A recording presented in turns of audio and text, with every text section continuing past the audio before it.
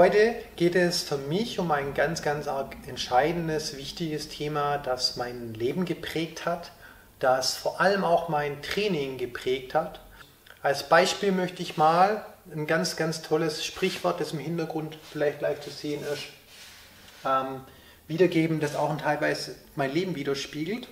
Und zwar nur tote Fische schwimmen mit dem Strom, lebendige dagegen.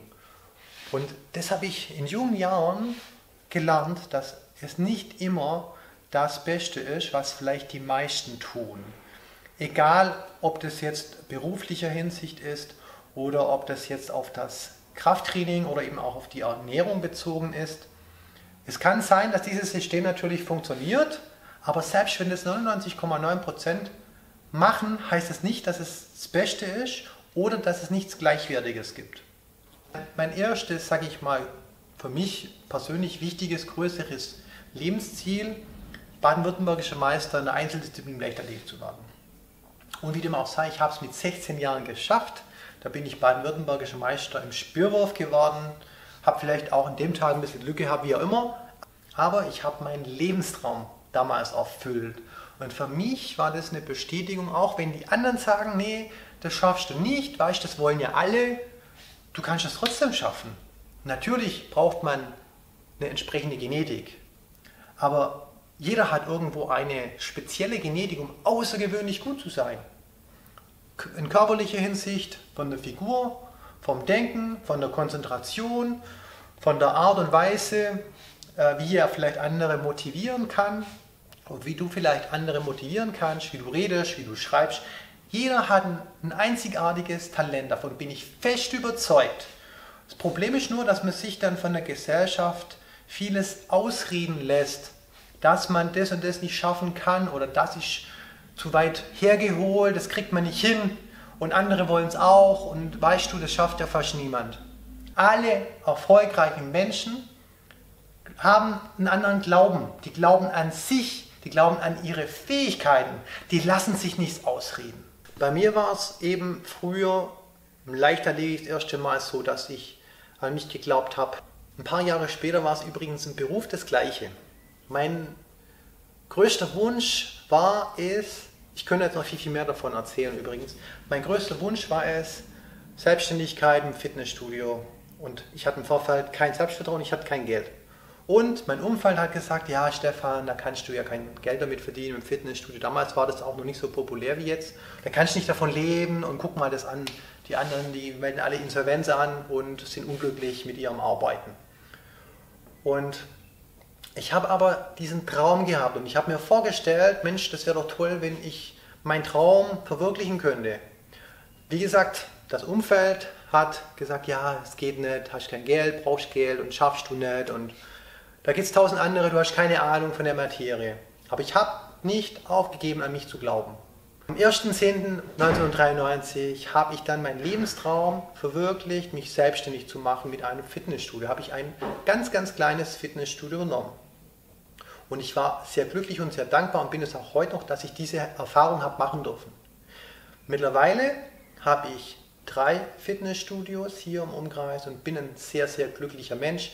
Ich habe auch ein fantastisches Team nebenbei bemerkt, sonst würde es natürlich nicht funktionieren. Ich habe ein super Top-Team. Ja, und auch damals mit dem Training war das so. Ich habe dieses Trainingssystem in dieser Richtung kennengelernt, dass man eben mit zweimal einer halben Stunde in der Woche auch auf Meisterschaften gehen kann. Das hat mich dafür, hat mich dafür interessiert. Alles hat eigentlich dagegen gesprochen, dass es funktionieren sollte. Es hat praktisch niemand danach trainiert und es gab auch keine wirkliche Literatur darüber, außer von Kiesertraining und das war eher so Reha-Bereich damals auch, Rückentraining und niemand hat eigentlich so trainiert. Aber wenn ich jetzt gedacht hätte, wie die meisten, ja, das kann ja nicht funktionieren, das ist zu wenig, die anderen trainieren auch nicht danach, dann hätte ich mich gar nicht getraut, das zu testen. Aber ich habe anders gedacht. Ich habe mich vom Durchschnitt abgehoben. Ich habe an mich geglaubt und ich habe an das Trainingssystem geglaubt und ich habe damit Erfolg gehabt. Bessere Erfolge wie mit dem herkömmlichen Training. Und immer wieder hat es sich bestätigt, denk nicht wie der Durchschnitt, geh einen anderen Weg. Es gibt manchmal gleiche, gute oder sogar bessere Möglichkeiten. Mein Motto lautet auch, genieße dein Leben. Nicht nur Fitnessstudio-Bereich, es gibt auch noch andere Dinge, es gibt auch noch einen Freundeskreis, wo man nicht vernachlässigen sollte. Meine Meinung natürlich, wenn du alles im Fitnessstudio hast, schön für dich. Aber es gibt andere, die wollen halt für ihre Gesundheit das machen, für ihre Figur was machen, aber nur eben das Notwendigste. Und da ist das Economic Training eben perfekt. Und zusätzlich noch auch für die Leute, wo bisher regelmäßig trainiert haben und irgendwann nicht mehr weiterkommen. Sofern die Rahmenbedingungen stimmen und du trotzdem schon längere Zeit, Wochen, Monate keine Ergebnisse erzielt hast und du hast auch noch vielleicht noch nicht dein genetisches Potenzial ausgeschöpft, da empfehle ich ganz klar, trainiere weniger, trainiere intensiver, trainiere kürzer, geh in Richtung High-Intensity-Training, geh in Richtung Economic Training und lass dich überraschen, was dann passiert.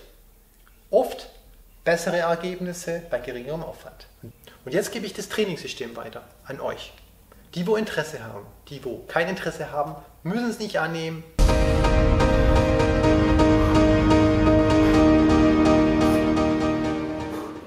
Ich glaube, für das Ganzkörpertraining habe ich jetzt 16 oder 17 Minuten gebraucht.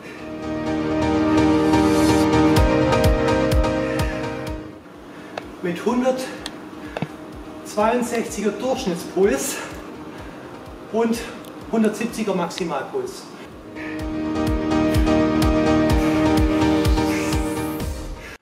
Ich habe also auch gleichzeitig ein Intervalltraining gemacht.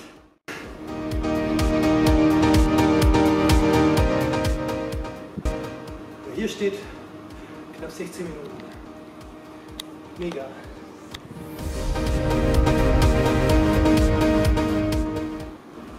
So trainiere ich jetzt. 120 Minuten.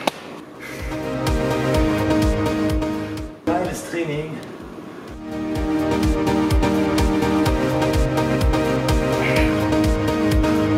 Motivierter, konzentrierter, effektiver. Wenn dir das Video gefallen hat, gib mir einen fetten Daumen hoch und bis zum nächsten Video.